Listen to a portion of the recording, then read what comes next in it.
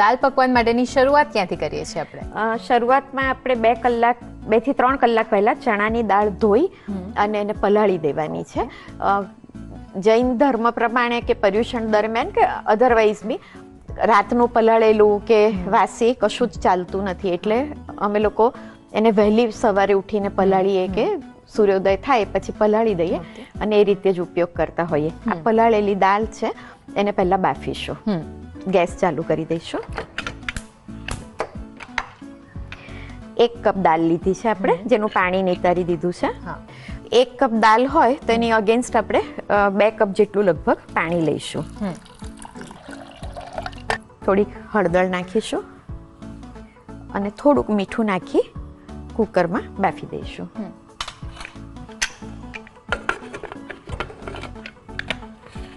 એની ત્રણ વિસલ વગાડીશું. જો દાળ બહુ જ વધારે પલળેલી હોય તો બે વિસલમાં પણ થઈ જતી હોય. અને ત્રણ વિસલ એટલા માટે વગાડવાની કે ચણાની દાળને ચડતા થોડીક વાર લાગે. એટલે થોડી લસલસતી થઈ જાય એટલે બાફવાની. પછી ત્રણ વિસલની કદાચ ચાર વગાડવી પડે તો વગાડવાની. ઓકે. ચણાની દાળ ચડે એ દરમિયાન આપણે પકવાન માટેનો લોટ બાંધી લઈએ. હા. ઘઉંનો લોટ છે એક કપ. હમ. થોડુંક મીઠું નાખીશું એની અંદર. થોડોક અજમો નાખીશું. પાંચ ચમચી અજમો નાખીશું. અને બે ચમચી જેટલું તેલ નાખીશું.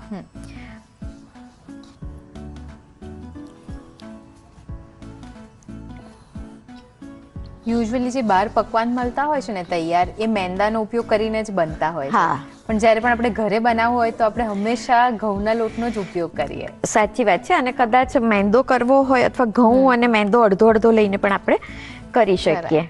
અને આમ જોવા જઈએ તો બંનેના ટેસ્ટમાં પણ ખાસો એવો ફરક પડી ટેસ્ટ. કલર બંનેમાં ફરક પડી જાય. સાધારણ કઠણ લોટ બાંધવાનો છે. આ રીતે એને સરસ મસળી લેવાનો છે. તિરાડ ન દેખાય એવો લોટ આપણે બાંધવાનો. એના નાના નાના લુવા કરી લઈશું. લુવા સે દબાવી દઈશું.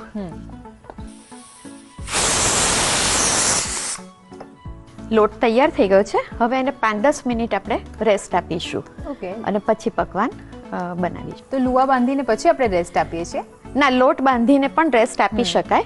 પણ લુવા પાડીને બી ગમે તે રીતે એને દસ મિનિટનો રેસ્ટ આપી દેવાનો. ઓકે કુકરની ત્રણ વિસલ થઈ ગઈ. હવે એને ઠંડુ થવા દઈએ છે દરમિયાન જે લોટ બાંધ્યો તો પકવાન માટે એને પણ રેસ્ટ અપાઈ ગયો છે. તો હવે વણી લઈશું. હા.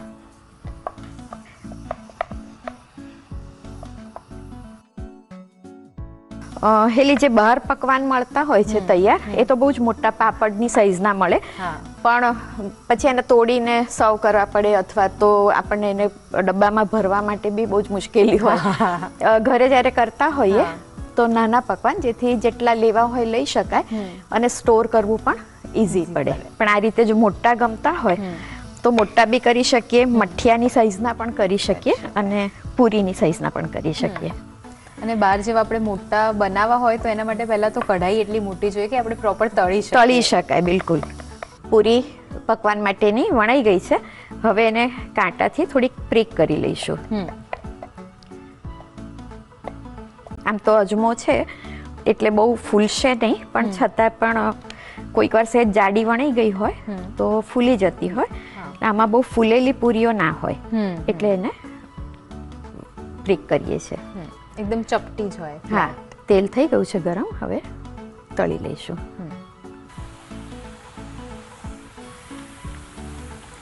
અને એકદમ ધીમા કેસે તળીશું?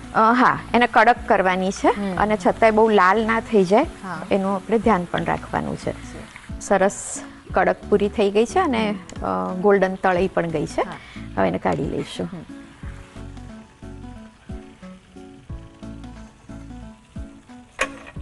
એને છુટ્ટી કરી દઈશું જેથી કરીને નરમ ના પડી જાય. તો સરસ કડક એવા પૂરી જેવા પકવાન તૈયાર છે. કુકર ઠંડુ થઈ ગયું છે. જોઈ લઈએ કે દાળ જોઈએ એવી ચડી છે કે નહીં.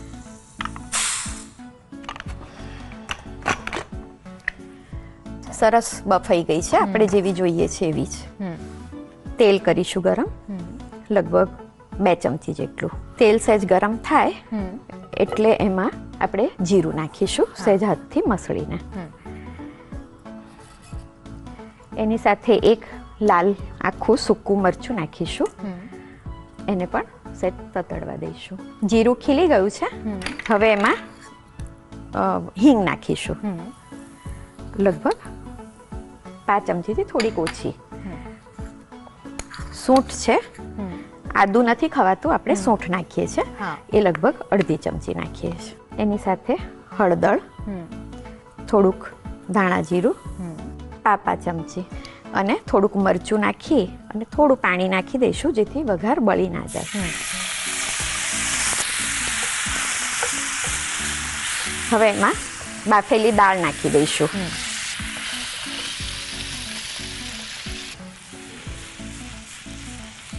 તો દાળ થોડી ઘટ થાય એના માટે આપણે થોડું મેશ કે એવું કરી શકીએ હા આમાં કરી શકાય. પણ તો બી છતાં દાણો તો દેખાવો જ જોઈએ. હા. એટલે થોડી ઉકળશે એટલે મેશ પણ થશે અને ઘટ પણ થઈ જશે. આમચૂર પાવડર છે એ નાખીશું. લગભગ અડધી ચમચી સંચળ છે એ પાંચ ચમચી જેટલું નાખીશું. લીંબુનો રસ છે એ લગભગ એક ચમચી જેટલો નાખીશું. અને એક ચમચી આંબલીનો પલ્પ છે. એ નાખીશું.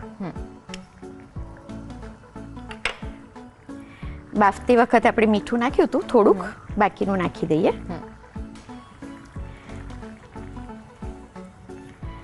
હવે આ દાળ થોડીક લચકા પડતી ને ઘટ થાય એટલી વાર આપણે એને ઉકાળીશું. એ દરમિયાન એની ઉપર નાખવાની ચટણી બનાવવાની હોય છે. તો આંબલીનો પલ્પ છે ચટણીમાં કશું જ કરવાનું બહુ હોતું નથી કારણ કે ઘણી બધી વસ્તુઓ વપરાતી જ નથી હોતી. એટલે આંબલીનો જે પલ્પ છે એની અંદર જ આપણે સહેજ મીઠું નાખીશું. એની સાથે થોડુંક સંચળ નાખીશું. જરાક ધાણાનું ધાણા જીરું નાખીશું અને લાલ મરચું નાખીશું.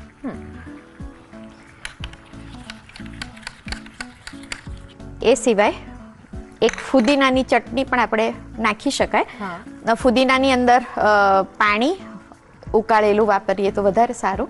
અને મીઠું લીલા મરચાં હોય એની સુકવણી કરી દીધી હોય એનો પાવડર ઘરે પણ કરી શકાય અને બજારમાં પણ અવેલેબલ હોય છે. તો ફુદીનાની સાથે એ નાખીશું.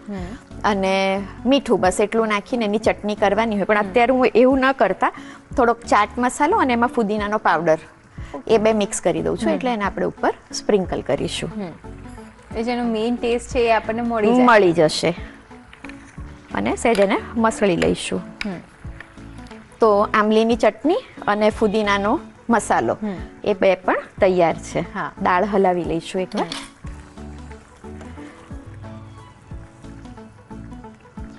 દાળ દાલ અને પકવાન બે રીતે સર્વ કરવામાં આવતા હોય છે. એક નાના બોલની અંદર દાલ આપીએ અને પકવાનની પૂરીઓ સાથે મુકાતી હોય. અને ઘણીવાર સ્ટાર્ટરમાં પણ હું મારા ઘરે પણ આપતી હોઉં છું. અને ઘણા બધા લોકો ખાતા હોય. તો પકવાન હોય એની ઉપર જેમ આપણે પીઝાની ગ્રેવી કરતા હોઈએ એ રીતે દાલ સ્પ્રેડ કરી દે ને એની પર પછી બધા જે પણ મસાલા નાખવા હોય એ નાખી અને પછી એને સ્ટાર્ટરની જેમ નાની નાની પૂરીઓ બાઉટ સાઇઝની એ સર્વ કરતા હોય. જો આપણે એને વાડકી કે બોલમાં આપવું હોય તો થોડી દાલ ઢીલીને લસલસતી રાખવાની અને સ્ટાર્ટર તરીકે આપવું હોય તો થોડી એને ઘટ થવા દેવાની. તો આપણે અત્યારે અહીંયા વાડકીમાં સર્વ કરીશું કારણ કે આપણે જમણની ડીશ છે. એટલે થોડી લસલસતી રાખીશું. દાલ રેડી છે પકવાન રેડી છે અને એની ઉપર નાખવાની ચટણી પણ તૈયાર છે. તો સર્વ કરીએ. હા. ચણાની દાળ છે એટલે એનો ગુણ હોય કે પડી પડી એ ઘટ થયા જ કરે. એટલે અહીંયા પણ એ ઘટ થઈ ગઈ છે દાળ.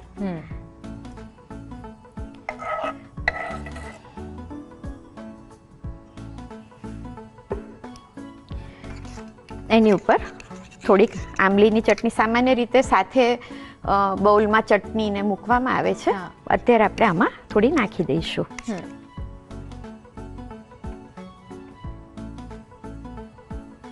ચાટ મસાલો અને ફુદીનો એ થોડો સ્પ્રિંકલ કરી દઈશું. પકવાન સાથે સર્વ કરીશું. તો તૈયાર છે?